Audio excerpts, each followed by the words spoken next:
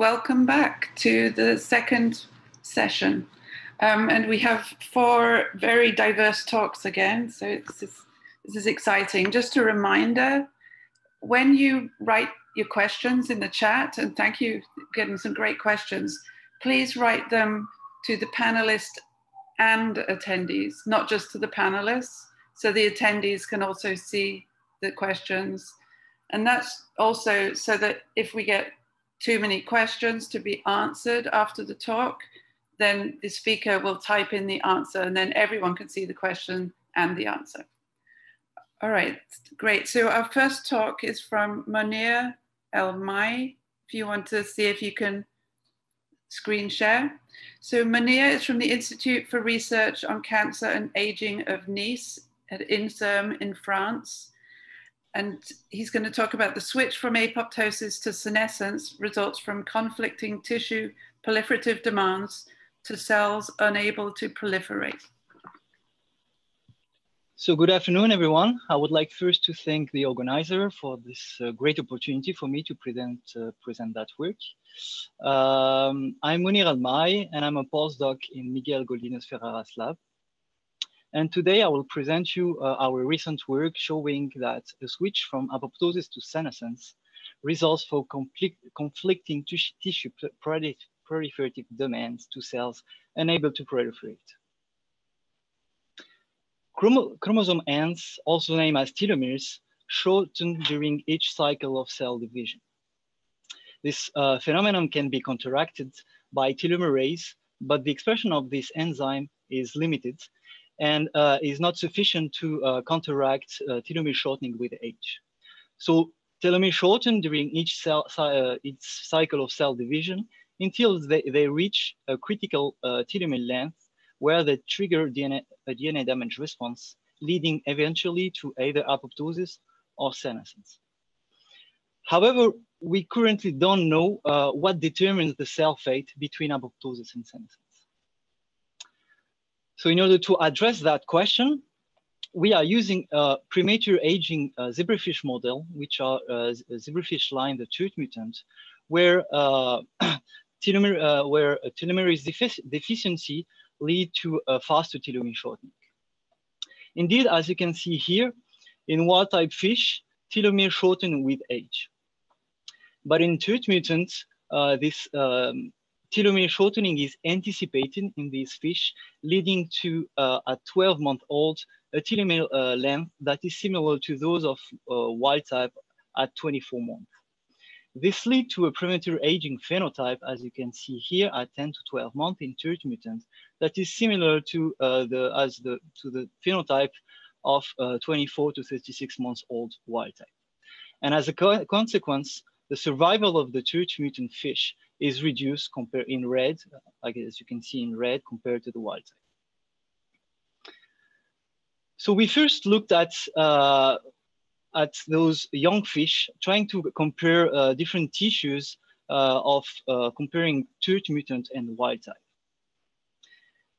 For this talk, I will focus on the on the gut, but we also describe the similar, similar phenomenon in other proliferative tissues. So as you can see here, uh, in this H&E staining, we couldn't uh, see when we looked at young fish, uh, we couldn't see any difference in terms of morphology between the TERT mutant and the wild type at young age. However, at that age, uh, telomere shortening already uh, uh, already induce DNA damage response, as you can see here with these increased levels of gamma H2AX and P53. However, we couldn't detect any difference in terms of senescence looking at uh, P16 protein level, mRNA level, or P21 mRNA. In fact, at that age, um, the DNA damage response and P53 induce higher levels of apoptosis in young TERT mutant compared to a wild type, as you can see here with this TUNEL assay and, um, and quantify in this graph here. Uh, but we couldn't detect any sign of senescence uh, looking at P16 IFs or AC beta. In contrast, when we looked at all TERT mutant, uh, the all TERT mutant that I showed you earlier, uh, we couldn't see any difference in terms of apoptosis between the TERT mutant and age match wild type here. However, we notice an increase in P16 um, positive cells by IF and quantify in this graph here, and an increase in SA beta gal staining. So at that age, in all TERT mutants, senescence become predominant. Um, so we show that there is a transition between apoptosis to senescence with age of the TERT, uh, mutant. And at old age, senescence become, uh, be becomes predominant. But what determines cell fate between apoptosis and senescence? Considering that uh, P16 accumulation has been shown in the literature to be linked to mitochondrial dysfunction, we wonder whether uh, mitochondria were affected in our TERT, uh, all TERT mutants. And as you can see here, uh, when we looked at ROS levels in, all, in, young, uh, in young fish, we couldn't distinguish any difference between the TERT mutant and the wild type. However, the ROS level increased uh, gradually and uh, becomes higher in the TERT mutant compared to the wild type at old age. This was um, this was um, uh, associated with uh, an increase of, um, uh, in, uh, of mitochondrial dysfunction, as you can see here in the old TERT mutant, where could, you could see we could see more swollen mitochondria, rounded mitochondria, and um, membrane di disrupted mitochondria. And this was also associated with a decrease in ATP levels. So why would uh, mitochondria be, uh, be dysfunctional in, uh, in all TERT mutants? OXPHOS defenses uh, guarantees the mitochond mitochondrial homeostasis. So we went to look for that. And as you can see here, uh, we, uh, we noticed that SOD2 levels, one of the, the major um, uh, uh, OXPHOS defense um, protein is reduced in all TERT uh, mutant compared to the wild type which could explain the increase of uh, ROS levels and mitochondrial dysfunction. But why would SOD2 be uh, downregulated in these, uh, these fish? Uh, SOD2 gene can be, uh, can be transactivation by FOXO protein. And FOXO can be uh, uh, translocated outside of the nucleus and inactivated by phosphorylation. And interestingly, we notice that uh, in all TERT mutants, uh, there is a higher levels of the inactivated form of FOXO protein. We also confirm the translocation of FOXO uh, outside of the nucleus by, by um, um, co-immunofluorescence staining of FOXO and P16. And we quantify the intensity, uh, nuclear to uh, cytoplasmic ratio intensity of those two factors and, uh, and plotted in this graph. And as you can see here, in the uh, in TERT mutant in red and orange, uh, there are um, majority, the majority of the cells have high level of P16 and low uh, nuclear P16, sorry, and low levels of nuclear FOXO compared to the wild type in gray. But why would FOXO be, uh, be inactivated in these fish? AKT is known to, to, uh, to phosphorate FOXO and inactivate it. And interestingly, we also noticed that uh, in TERT mutant, we have higher levels of the uh, activated form of, uh, of AKT, phospho-AKT. So we showed that in uh, all TERT mutants, we have inactivation of the, the, the mTOR AKT pathway that will, will inactivate uh, FOXO, leading to a reduction of SOD2 uh, expression uh, triggering higher loss, ROS levels and mitochondrial dysfunction, and ev eventually leading to senescence. But why would this proliferative pathway would be activated in a context of cell proliferation block? When we look at, uh, when we compared young and uh, uh old TERT mutants, we noticed that in all, uh, that the old TERT mutants exhibit tissue damage.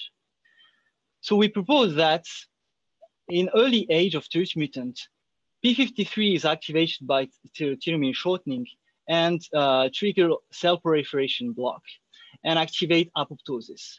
This will lead, this will impair, uh, dampen and impair the, the cellular replenishment of the tissue and lead to a, a gradual uh, loss of cellularity and tissue damage. The tissue damage in turn would activate a compensatory proliferative pathway, the mTOR-AKT pathway, which in a, a, which in a context of cell proliferation block would induce senescence. So if that's true, if this model is true, by inhibiting uh, P53, we expect to, uh, to rescue senescence. So in order to test uh, this model, we then uh, inhibited P53 and used a TERT P53 uh, double mutant. And we showed that when we inhibit P53 in a TERT mutant, we reduce the, uh, the level of activated ROS, as you can see here, compared to the TERT mutants, and rescue SOD2 expression and senescence, compare, senescence compared to the TERT mutant. Conversely, by inhibiting mTOR pathway, we also expect to, uh, to uh, rescue senescence. And uh, we also use then a model where we inhibited uh, the mTOR pathway um, in, in this uh, model here. And we showed that by inhibiting uh, mTOR pathway in TERT mutant, we reduce the, the, the, the activation of AKT and therefore we reduce the levels of P16 and therefore senescence. So in conclusion, we showed that during age uh, of TERT mutant, we have a transition between apoptosis to senescence that is due to the uh, concomitant activation of, of two antagonistic pathway, the mTOR AKT proliferative pathway and the P53 uh, anti-proliferative pathway. And this um, activation of this, uh, this two pathway leads to senescence. So to finish, I would like to thank, uh, thank you all for your attention. I would like to thank all, also my team, uh, and uh, my, my team members, sorry, the team members, and uh, the, the co-authors of this paper the different facilities and the funding agencies that, that allowed for this work to be done. And if I may, I would like to add that we recently moved to Nice in France, and we are welcoming uh, postdoc and student, student applications. Thank you all for your attention. Wonderful, and thank you for being on time. Thanks. Can I ask the first question? Sure. So I mean, this is really cool. I don't know if you've had chance yet, or if you have any reason to think that this mechanism in zebrafish, and I think that's an amazing model. Is this also conserved in mammalian cells, for example? Would you think? So we haven't, we didn't get the chance to uh, to test that yet but we believe that uh, this could be also um, a phenomenon that we could see in mammalians also. Uh, the thing is that um, in the mouse, mouse model, um, we will have to wait uh, more generation of, uh, to, of mutant of telomerase to, to see a telomere shortening uh, in, and the effect of telomere shortening in these, uh, these models. So, uh, and the other thing is that using in vitro models, uh, for instance, to study human cells, um, in vitro, we are using a lot of, uh, of growth factors that would then, uh, that, that would then induce the, the proper pathway, like the AKT pathway and it will be um, trickier to to to to disentangle that question in the in this model. But do you know if telomere shortening activates p53 in mammalian cells? Does anyone? So yeah, for instance, in uh, in human cells, uh, p53, yeah, telomere shortening activate p53 and also in mammalian in uh, in mice in the the late uh, generation of uh, telomerase, telomerase deficient uh, mice, you have activation of p53. So that brings me to Alex's Alex Chen's question. Sure. which is very similar. How does P53 mechanistically sense the shortened telomeres? So actually, um, so when telomere shortens, uh, they become deprotected. So telomeres are uh, nucleo nucleoprotein, uh, nucleoprotein complex composed by uh, the, the telomeric uh, repeats sequences, DNA sequences, and, uh, and proteins that are called shelterins. And they, are, uh, they, they protect the, the, the extremity of the, the chromosomes. And when they become uh, extremely short, they, are, they become deprotected and are recognized as a DNA damage by uh, the DNA damage response machinery. So it's ATM ATR activation. ATM ATR activation that would let, then trigger uh, P53. Okay, cool. So while anyone else is wanting to type of question, I just want to say that Miguel, your boss, if he's there, hi. When I was a new faculty member 21 years ago at the University of Colorado School of Medicine, Miguel was a postdoc there. Mm-hmm. He was working on um, telomeres in pombe sure. with Julie Cooper. And he used to come up to my office and we used to have these long conversations about DNA damage checkpoints. Sure. So great watching his work evolve from telomeres in pombe to now in his own lab working on zebrafish and aging. And, and I'm sure that he's... Invite me to Nice, Miguel, when we're allowed to travel. Thank you very much, Jess. It's a pleasure to see you. It's very nice to be here. Glad to see you. and, and also doing dog sitting, which was very nice. Okay, if we don't have any more questions, we will move on. Wonderful stuff. Thank you. Okay, so we're gonna nice now have a talk from Morgan, Morgan Levine, sorry, at the Yale School of Medicine and the talk is entitled A Rat Epigenetic Clock Recapitulates Phenotypic Aging and Co-Localizes with Heterochromatin.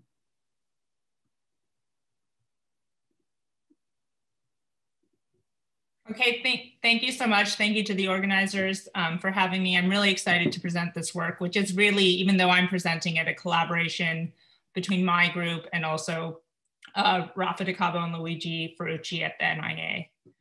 Um, so just to jump right in, a brief background on epigenetic clocks. So basically what these are is these are estimates of biological age based on measures of DNA methylation. Um, so we think these are really important because DNA methylation is an epigenetic mark that plays a really important role in a number of different cellular processes. Um, but what people have found is that there are striking changes in the patterns of DNA methylation across the genome as cells or individuals age. Um, so what people have done is we've used advanced kind of machine learning techniques to estimate biological age using these patterns of change across DNA methylation. And clocks have been developed using as few as one CPG location to often up to a million CPG locations. Um, so the first epigenetic clock was developed in humans, actually using human twins in 2011. Uh, 2011. Uh, that was the Bocklandt et al. paper. And since then, there's been a plethora of other epigenetic clocks developed mostly in humans and some in mice. Um, and actually, some of you might know, so currently Steve Horvath is actually doing mammalian epigenetic clocks, so across hundreds of different mammalian species. But the aim of this paper was to develop uh, an epigenetic clock for rats, which at the time had not been published yet. So the other uh, difference kind of that with um, our approach versus some of the epigenetic clock approaches that have been used before is that we really try to use what's called an unsupervised machine learning approach. Um, so just to put that in context with what's been used, so most of the epigenetic clocks that have been developed use what's called a supervised approach. So this is you traditionally train a clock by using some measure of ground truth that you're trying to predict. Most often in the epigenetic clocks, this has been using chronological age. So what we, we can call these clocks chronological age predictors. Um, however, there's a number of drawbacks for this. Um, number one is that the whole point of making a biological age estimate is to decouple biological aging from chronological aging because we know chronological age is an imperfect proxy of biological aging. Um, there's also issues with mortality selection um, and the fact that you actually might be picking up epigenetic changes that may not be actually causal or important um, in aging, but are just bystanders of changes with time. So, so the idea with the supervised approach is that you need some ground truth. However, when we're trying to estimate biological aging, we think of this as what we call um, a latent variable. It's something not observable. So there's actually no real ground truth. And there's been some debate um, in the field on what people should actually use as this ground truth in which we're trying to predict. Um, so for this study, we actually took a different approach. We used an unsupervised approach. So this is not tethered to any variable. We basically are just looking at patterns of change in our data um, that were previously undetected. So we don't need to determine uh, that we're trying to make an age predictor. And assuming you have a data set with sufficient kind of variability in this dimension that you're interested in, um, it actually might be ideal for uncovering some of these kind of latent or unobservable patterns. Um, and this is the case for biological aging, that because it's latent, we actually want to understand these kind of multidimensional patterns of change rather than uh, making an age predictor per se. Um, so for this, uh, again, I mentioned we're doing this in rats. So we had male Fischer rats uh, between the ages of one and 27 months. And we had a really nice age distribution where we had six rats at each month of age. So one month, two months, et cetera. Um, we also had data that we used for blood to measure um, DNA methylation. We also had information on FACS, so we um, knew cell composition, and there's behavioral testing done so we had information on rotarod, open field as well. Uh, so to develop our epigenetic clock, we split our data into what we call training sample, which was about 100 rats, and our testing or our validation sample, which was about 30 rats. And first, we actually tried a number of more sophisticated unsupervised approaches that considered um, kind of nonlinear effects. And really what came out was that actually a very simple one, principal component analysis, did just as well. So uh, we ended up just going with that because it's better just to keep it simple if possible. Um, so what we did is we ran principal component analysis. And really what we found is that the first component actually captured this aging effect that we were interested in. Um, so this is just showing, this is called a scree plot. So the proportion of variance explained by each of these components. So this is the first one. And this is if we just plot age. So this is chronological age against this first principal component, which we converted into units of years in our validation sample. And what we find is that you actually get a correlation between age and this uh, principal component of 0.93 in the validation sample.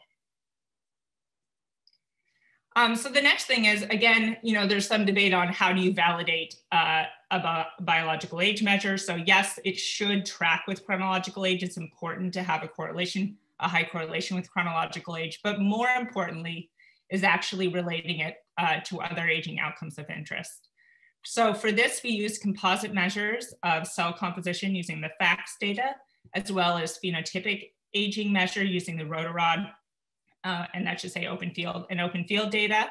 And we put these in a um, multivariate model. And basically what we find is that when you adjust for age, we still see an association with our epigenetic age measure and this phenotypic age aging measure, which means even among rats of the same chronological age, having a higher epigenetic age is associated with higher phenotypic aging. And the same thing holds even when we adjust for cell composition. So this is not explained by differences in kind of cell proportions in the blood data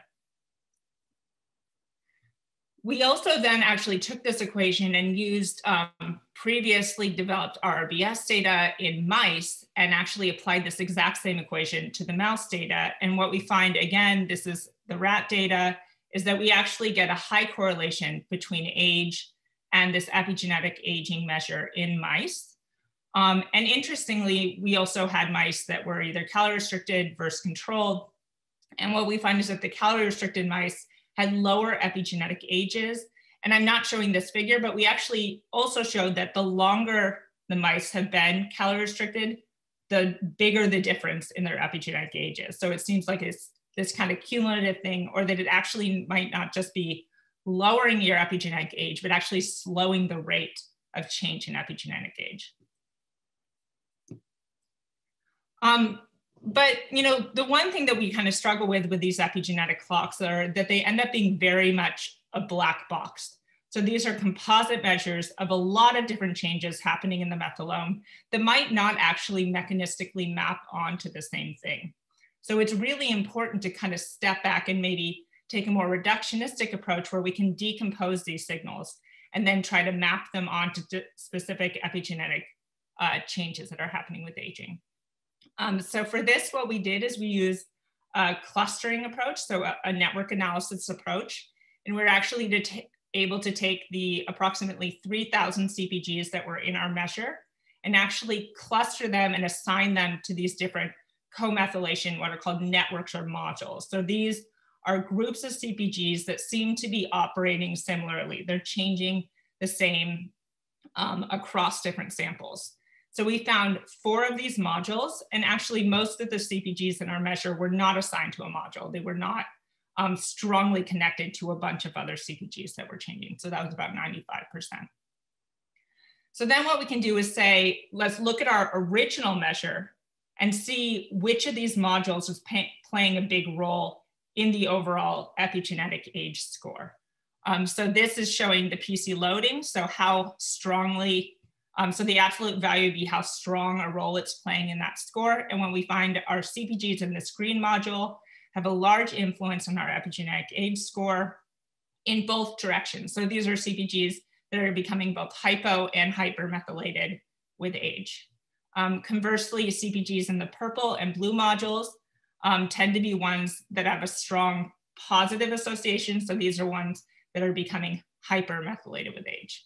Um, whereas the pink ones are not influencing it that much.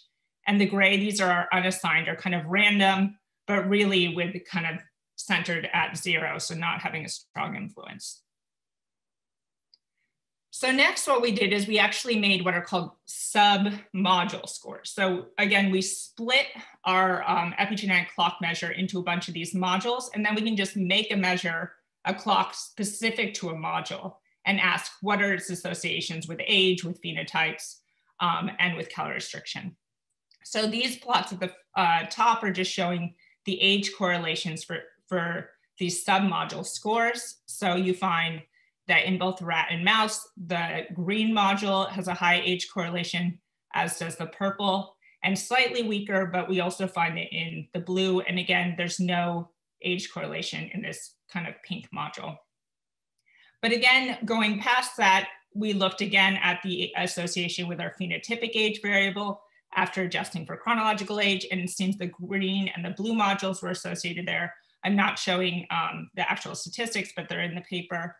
We also find that all four modules were reduced by calorie restriction. And then we also looked at reprogrammed fibroblasts or reprogrammed into induced pluripotent stem cells. And in that case, only the green and the blue module seemed important. So for this reason, we started to focus in more on the green and blue module as they were associated with all four of these phenotypes.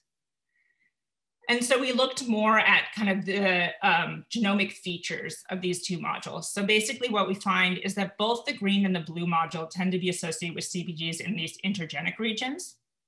They also tended to be um, in regions of high CPG density. So these might be what we call CPG islands. Um, and, and we also were able to find uh, what they co-located in. So there was enrichment uh, for locations that co-locate with H3K9 trimethylation and H3K27 trimethylation. So in conclusion, um, what we did in this paper was we presented the first published epigenetic clock in rats. We found that it's a robust epigenetic age, oh, we found that robust epigenetic age biomarkers can be developed even using unsupervised machine learning methods. So you don't have to use chronological age or some other proxy measure to train to. Um, so again, in part one, we generated this composite epigenetic age measure. It was associated with phenotypic or functional aging, conserved in mice. It was reduced by calorie restriction. And I didn't show this data, but we also um, have a figure in the paper showing that it can be reprogrammed via Yamanaka factors.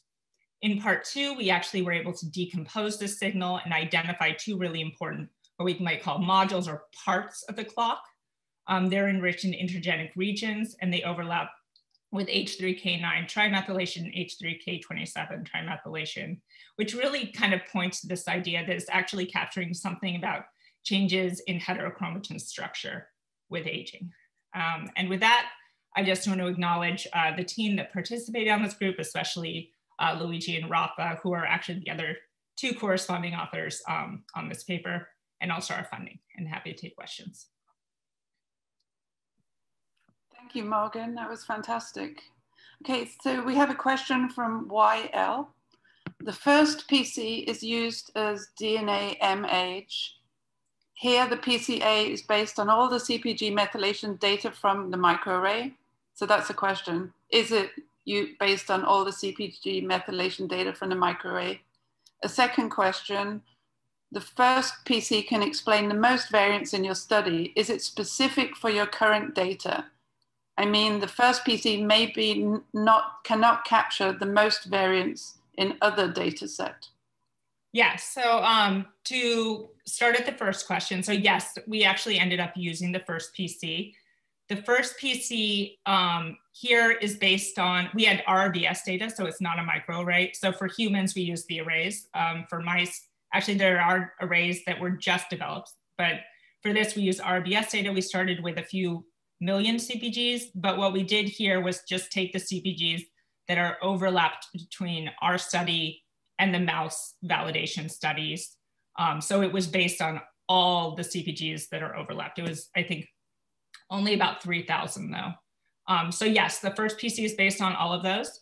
Um, for the second question here, I, I, I agree. Um, I think the reason the first PC worked so well was because it, if for people uh, who know about PCA, most of our variance was in that age domain, right? We had a really wide age range and these were all fairly homogeneous rats. So I think that's why the first PC ended up being this aging measure. We've done a lot um, with these unsupervised approaches in humans, and that first PC is not always the one that's of interest.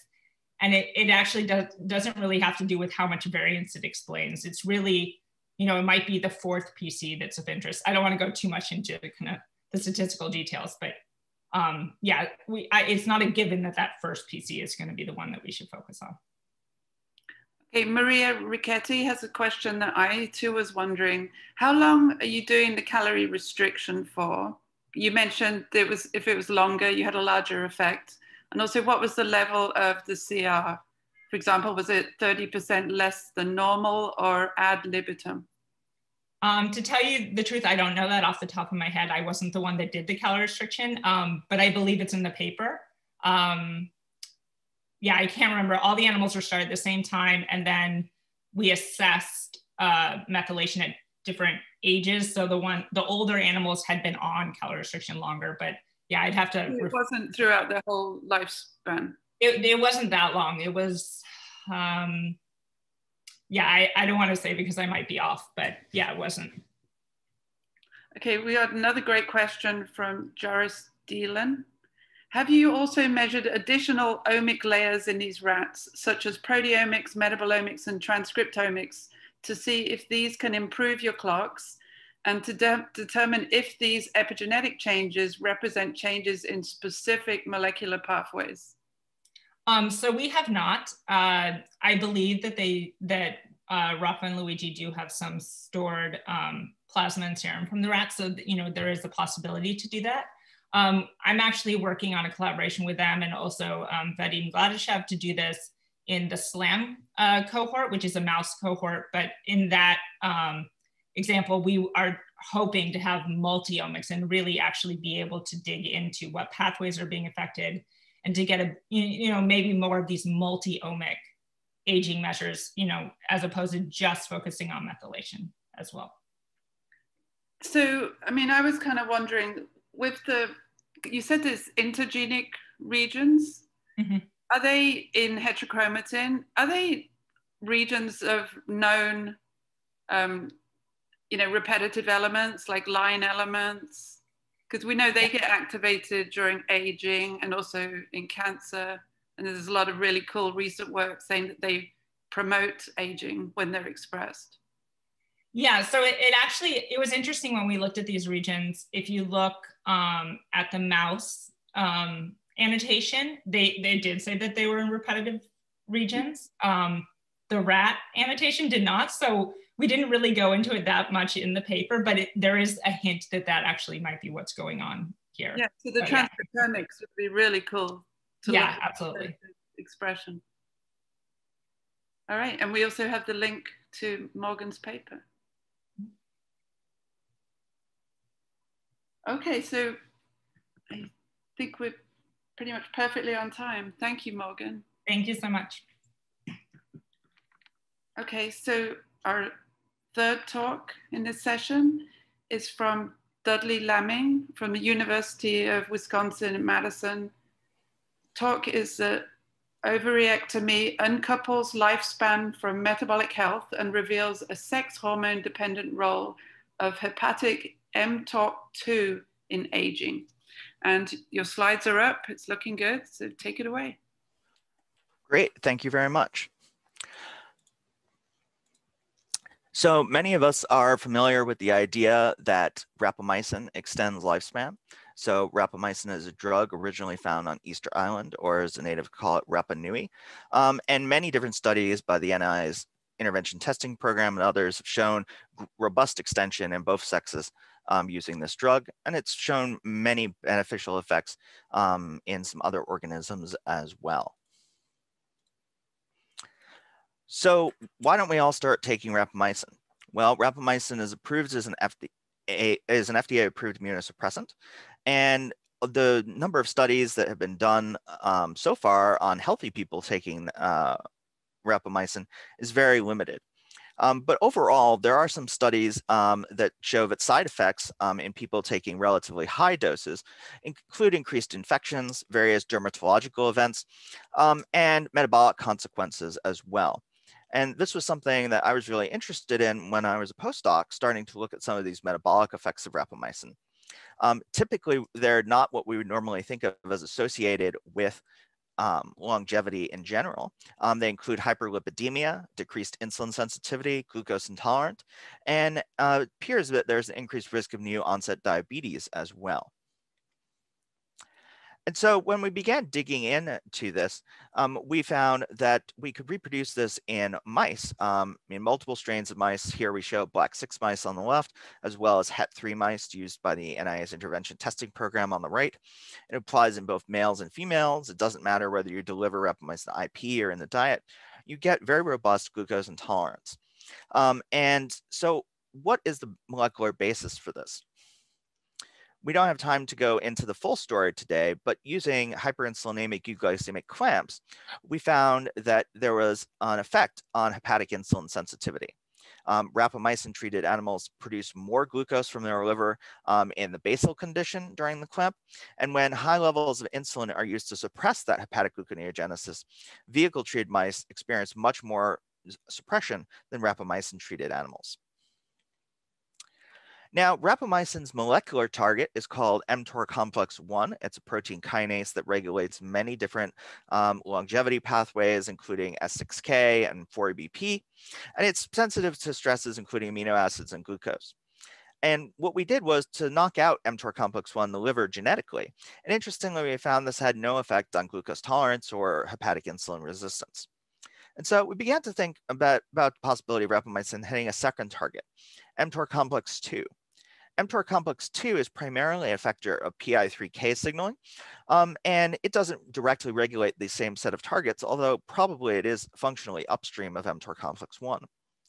And while mTORC2 was initially characterized as rapamycin resistance, some work in David Sabatini's lab by Dos Sarbassov um, in 2006 had shown that in cell culture and to a degree, in at least one mouse tissue or two, um, mTOR complex 2 could be inhibited by uh, chronic rapamycin treatment.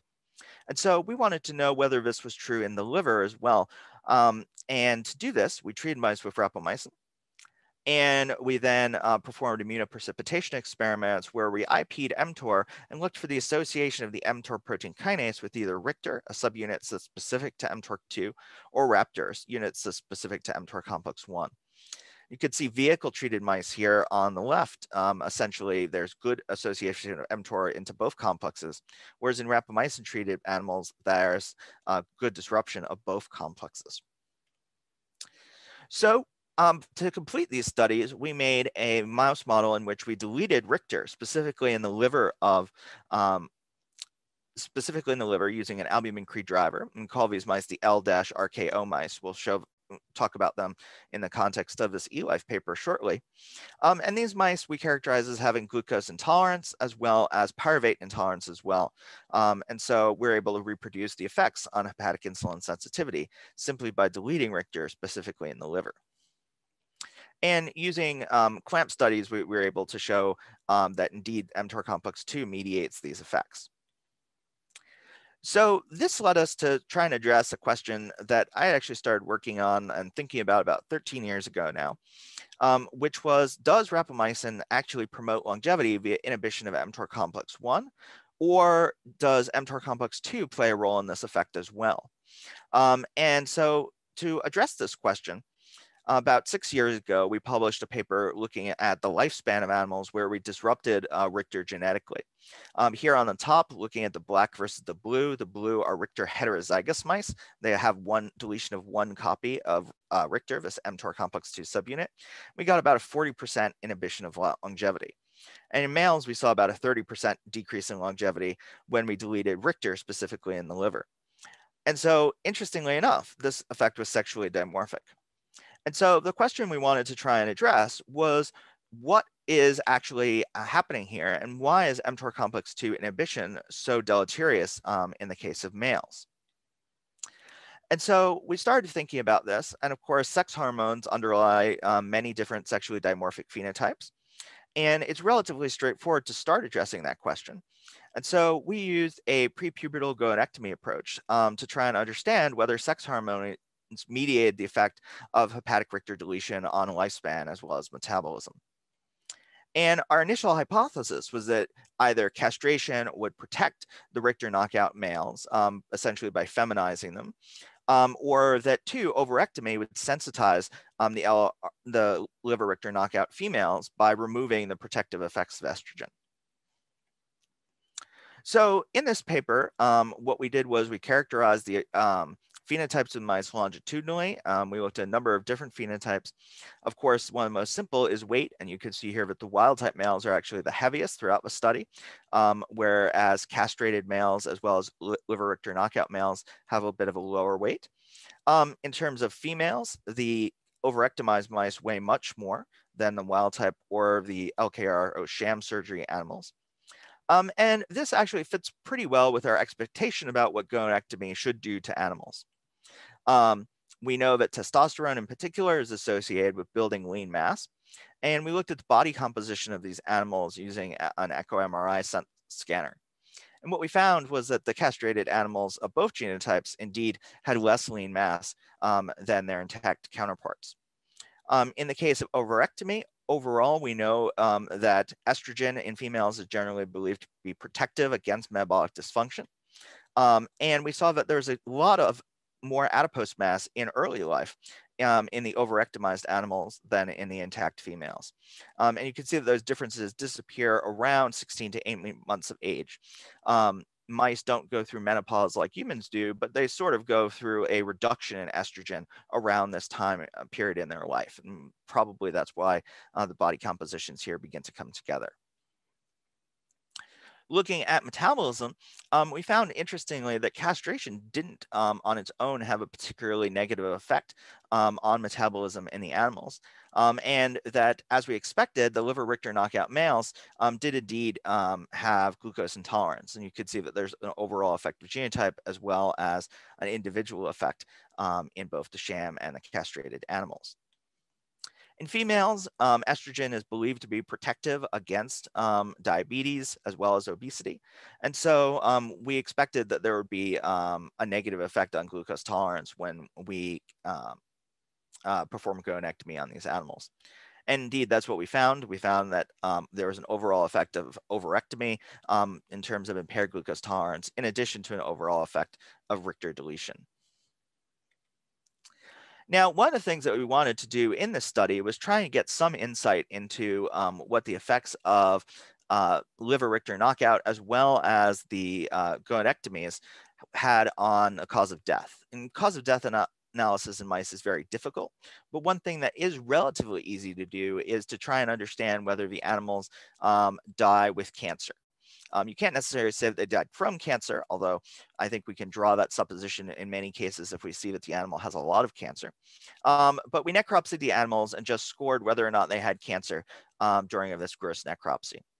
And so in males, interestingly enough, we found um, the mice that died with observable cancer, um, there wasn't really any uh, differences between any of the genotypes or surgeries. So all the groups had very similar effects.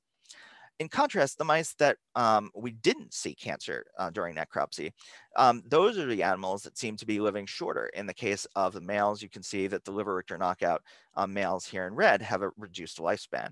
And there's an overall increase in the hazard ratio um, when we delete Rictor. Um, you can see the castrated animals, very similar overall effect. Castration did not protect um, the animals in this case. And so if we put all the mice together, including the ones that um, where we were unable to to score cause of death or uh, cancer at death due to the fact that the animals had decayed too quickly. Um, what we find is that, again, um, Rictor knockout um, has a negative effect on lifespan, so that's um, reproducible.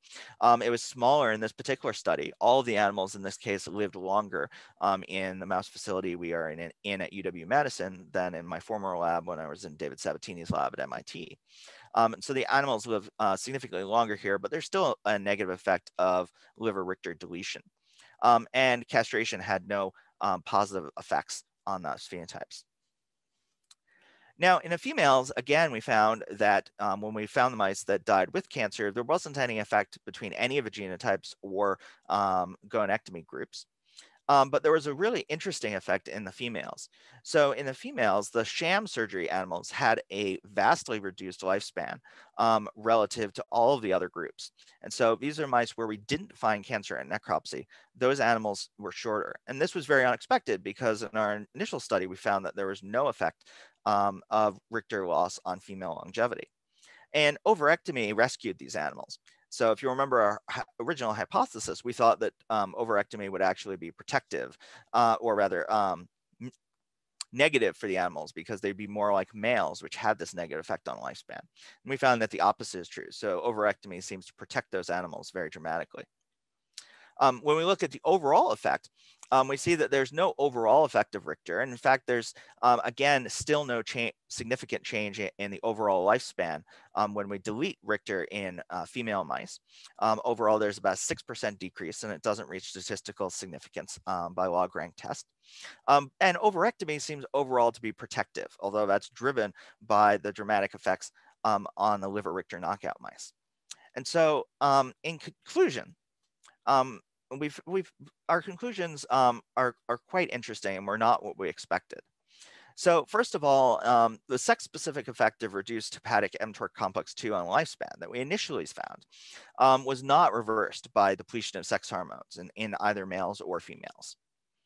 And we found, really surprisingly, that loss of hepatic mTOR complex 2 negatively impacted survival of those females um, who did not die with observable cancer. Um, and you know, that doesn't mean that they didn't have cancer at all. We didn't do the type of detailed histology that would be necessary to make that conclusion. Um, but certainly there was nothing observable um, during our gross necropsy.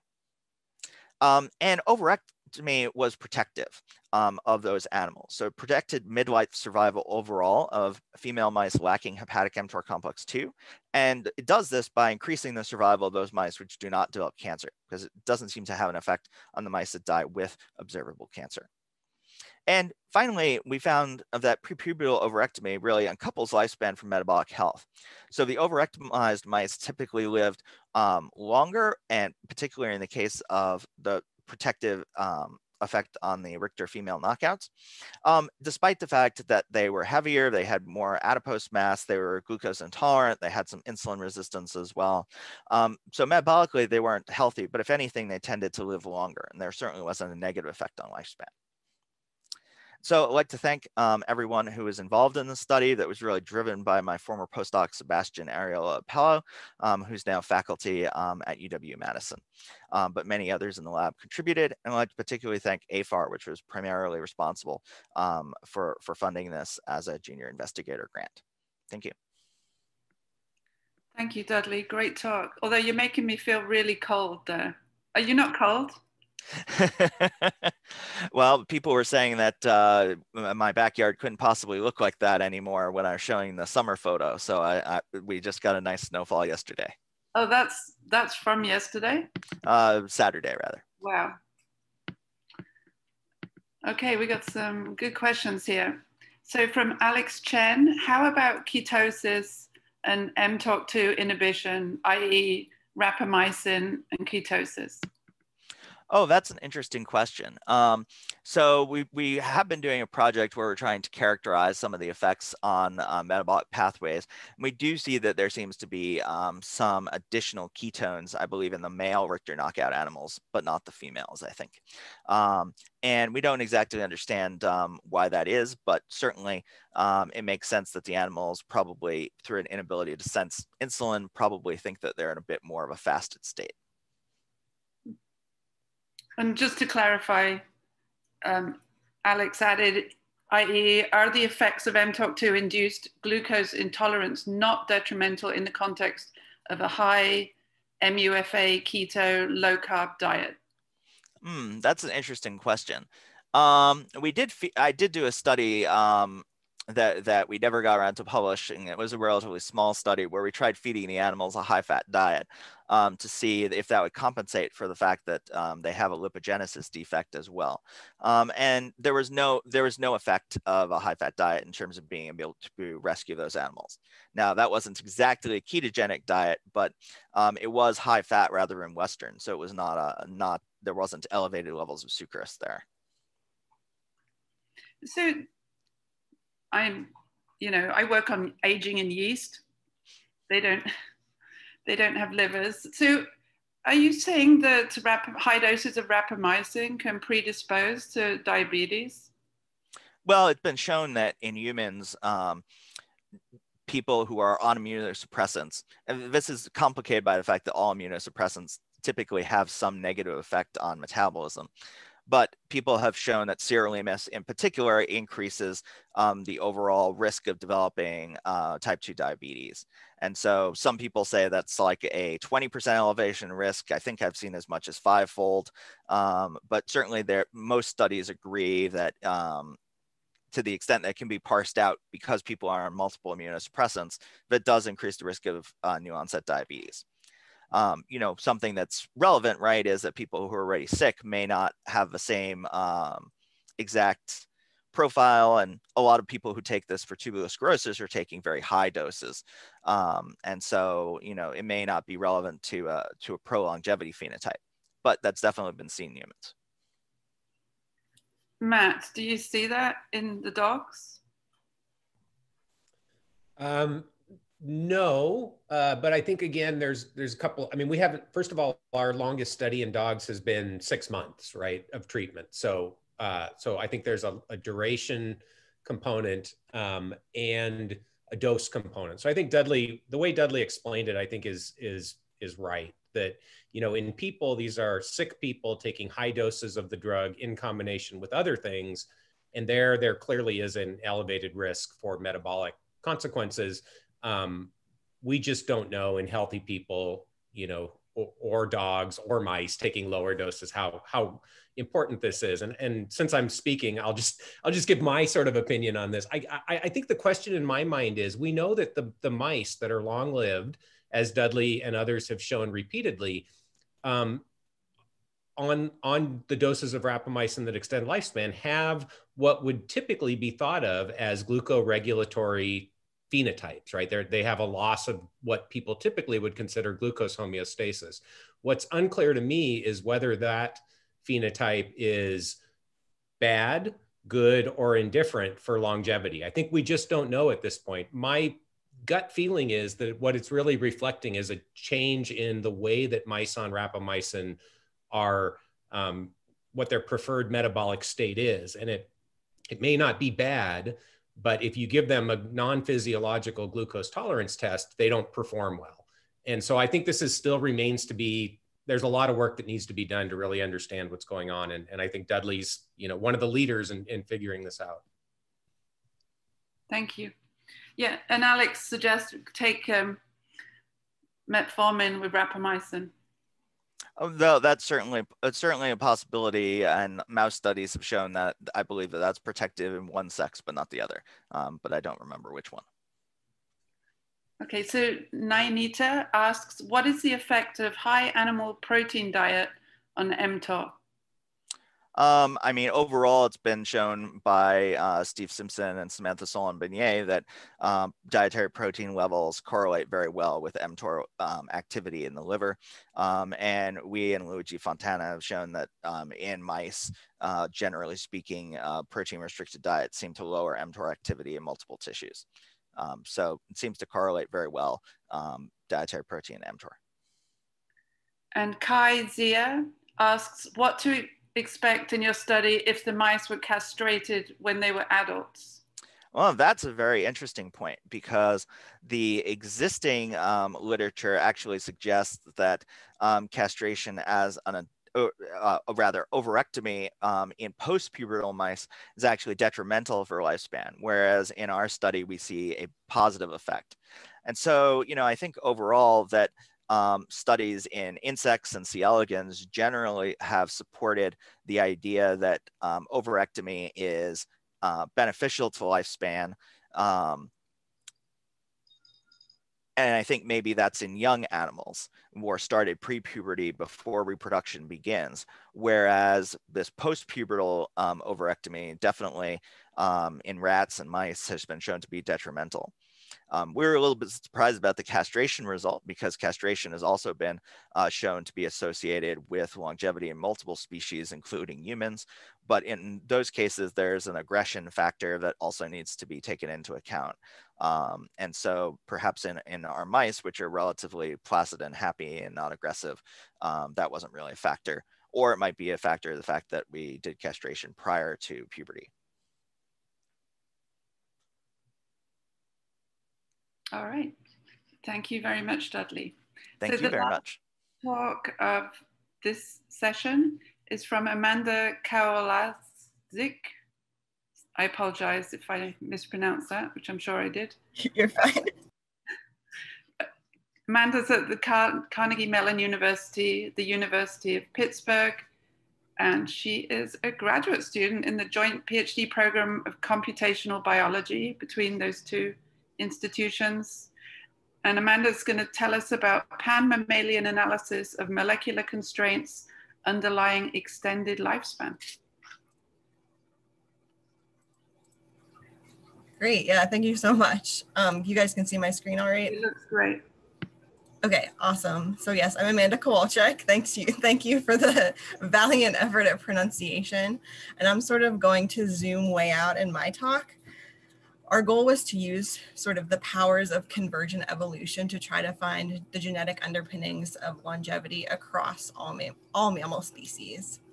So since I study evolution, I like to start these types of talks by acknowledging the incredible diversity of life on planet Earth. Perhaps it isn't surprising that we observe this incredible diversity because the Earth itself is super diverse and each of these species is uniquely adapted to survive and thrive in their respective environments. What may in fact be more surprising is when we see less diversity than we may expect, or when species that are not closely related or unrelated develop similar phenotypes. And when that, when that happens, we call it convergent evolution. And the classic example is depicted over here. Birds and bats independently developed the flight phenotype. And we call that convergent evolution. And we, when we see this type of phenotypic convergence, we may also expect to see genetic convergence. And by looking for the concordance between those two sort of signals, we can try to link genes to their associated phenotypes. So my goal was to do that, of course, for longevity. And to do that, longevity must be convergent, which fortunately it is, but I can demonstrate that for you right here. So this is showing the 61 mammal species included in the UCSC 100-way alignment, for which I also have longevity data.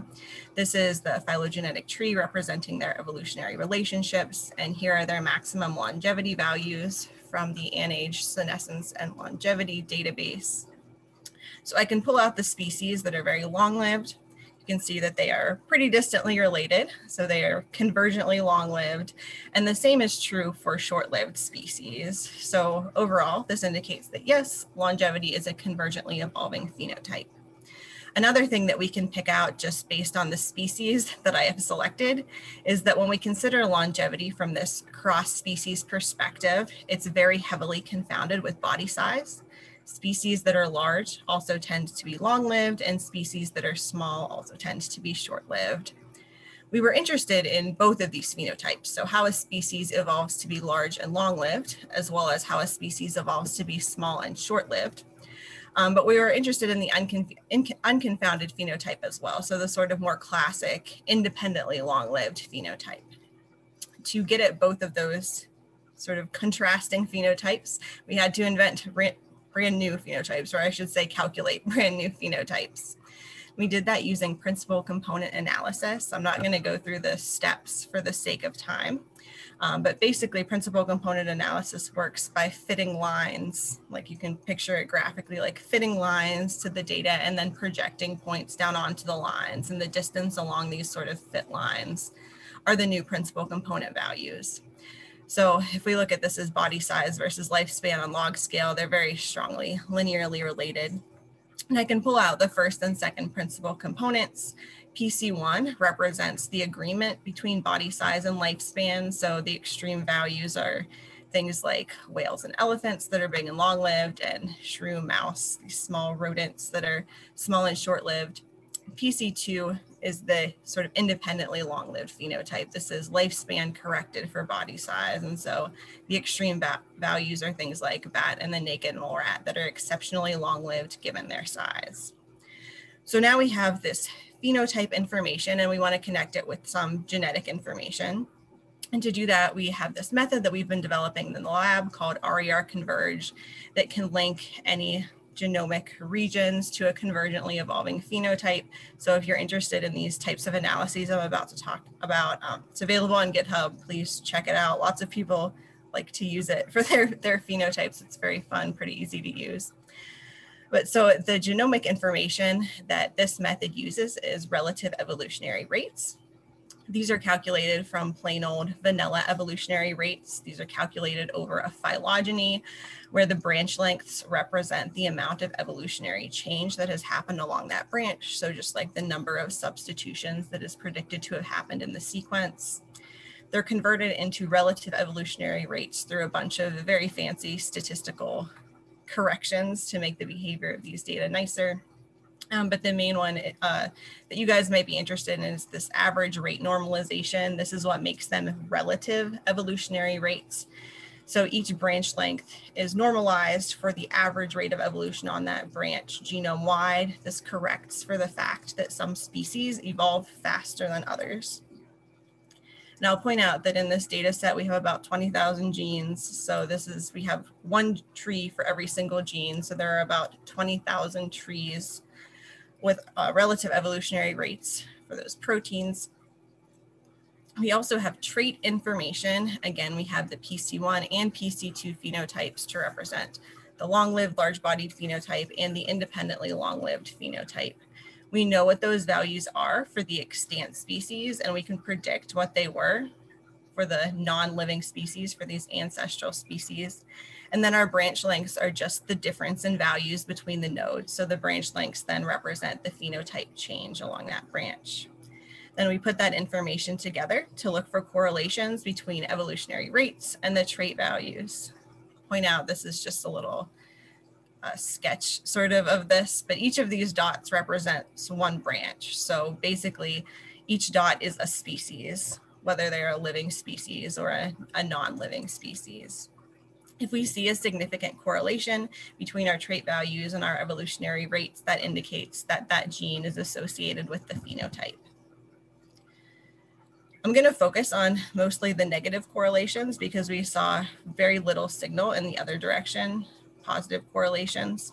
We believe that negative correlations are indicating genes that are more important for the phenotype, so more important to evolving to be a large and long-lived species because they're evolving slower, because they're being protected from mutations, because their functions are very important.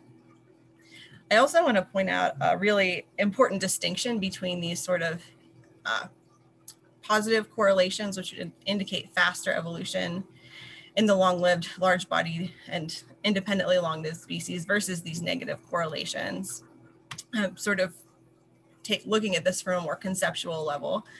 Sometime in evolutionary history, we had the ancestral mammal that was probably small and short-lived, and then there was some period of a selective pressure shift, during which time this small short-lived mammal evolved to be large and long-lived along some of the mammalian lineages. And at some point that stabilized and now we have the phenotypes that we observe today. During the time that this trait change was occurring, there were genes, there must have been genes that were evolving faster, that were under positive selection in order to generate this phenotype change. This must have happened. Um, but at some point, when this phenotype stabilized, these genes were relaxed from this sort of positive selection and went back to neutral evolutionary rates. So as a result, this is sort of explaining why we aren't seeing a lot of these positive correlations because in evolutionary time, this period of positive selection of accelerated evolution was very brief. So at the end of the day, we're actually capturing very small rate shifts, sort of an average out over this time period. But on the other hand, when these genes were under positive selection, there was a whole shift in the evolutionary rates landscape landscape in many, many genes, including some that were very important to enable this evolution, but were not driving it. And those genes would have been under increased purifying selection because they were being protected from accumulating mutations. And then when the trait was established, they continued to be under purifying selection to enable the trait to continue to persist. So as a result, we're able to capture these rates. This is why we're able to see these negative correlations more strongly than the positive correlations. But this also is a really important distinction between my work and what a lot of other people do in that what I'm looking at is genes that enable species to be long-lived rather than genes that cause them to be long-lived. So everything that I'm going to be talking about is sort of in this camp where these are functions, genes, pathways that are required to allow these species to continue to be long-lived. So I had all of my gene results. I did pathway enrichment to do some sort of more functional analysis of them. And this is a representation of those pathway enrichment results for the PC1 phenotype, the long-lived large-bodied phenotype. Each of these dots is a pathway that's significantly enriched and the lines between them are just representing the number of genes they have in common to help us sort of sort through the redundancy in pathway annotations. For PC1, we see lots of immune pathways, cell death pathways, a very specific set of DNA repair pathways, and cell cycle control pathways that are really important to enable species to grow to be large and long-lived. And what's interesting about this is that these pathways all work together to prevent cancer. So if we think about how cancer happens, it starts as DNA damage that causes unchecked cell cycle progression and, and or inadequate cell death. Those cancerous cells that evade the immune system, and in some cases, inflammation even promotes tumor growth, and then we get downstage tumor development uh, processes. So we're seeing a significant signal for all of these early stages of cancer cancer uh, prevention, which is a potential resolution to something known as Peto's paradox, which is the observation that large species do not get cancer as often as they should, given how large they are. Um, the prediction is just because large species have more cells going from left to right, they should have a higher probability of getting cancer. This line, in theory, what should happen, but we act, what we actually observe is more equal cancer rates across species. So one possible explanation for this is that as species get larger, they have lower mutation rates. And my work is suggesting that there's a whole host of cancer control mechanisms that are actually at work, helping to prevent these large species from getting cancer. If we look at the other side of things, this is the independently long-lived phenotype. We see the same sort of large scale story with immune function and a more diverse set of DNA repair pathways. But if we look under the hood a little bit more, we can see that for these DNA repair pathways, this is showing their enrichment. Um, and orange is PC2. So if we see this sort of uptick to the right, that's indicating um, enrichment. We're seeing a lot stronger signal for these DNA repair pathways for PC2 and orange versus PC1, which is sort of flatter or has a weaker signal in comparison. And if we look at the immune pathways, don't read these. These are just a bunch of immune pathways, so don't worry about what their actual names are. Um, the bars are representing whether or not there's a significant enrichment in that pathway. And basically the takeaway from this is that the, when there is a bar for PC2, there is not for PC1 and vice versa with the exception of these couple NF kappa B pathways, which is indicating although immune functions are important, it's a distinct set of immune pathways for these two phenotypes. So there were really distinct evolutionary trajectories leading to long life and large body size versus long lifespan independent of body size. Uh, so with that, we'll thank everyone who has been involved with this and I'm happy to take any questions. Thank you, Amanda. That's super cool. We got a question from Alex Chen. Did you calculate DN over DS values for each of the genes across all four categories of animals? So in our branch length calculations, those are DN. Um, so our branch lengths are the number of non-synonymous mutations with, with corrections.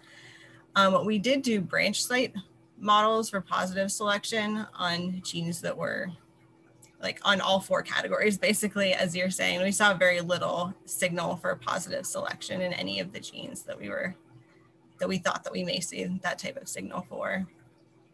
Alex also asked, what about correlations between evolution of one gene and another, e.g. inflammation ones and DNA repair ones, like OGG1 or TNF alpha?